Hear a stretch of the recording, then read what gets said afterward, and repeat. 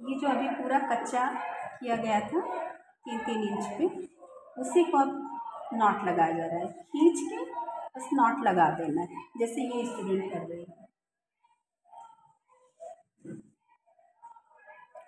Time लगाइए, ताकि मज़बूत रहे, खुलने ना पाए। खुल गया तो फाइबर निकल आएगा डिज़ाइन भी खराब हो जाएगी।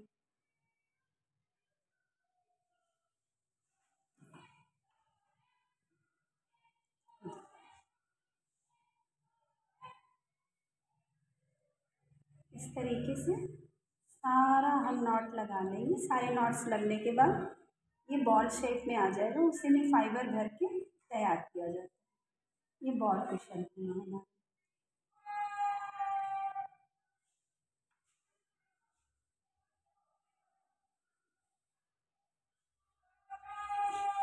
ये मेरी स्टूडेंट थोड़ा ज़्यादा लॉन्ग थ्रेड छोड़ दिए इतना ज़रूरत नहीं है, आप इतना ही रखिए, क्योंकि वो तो खींच के नॉट लग जाना है।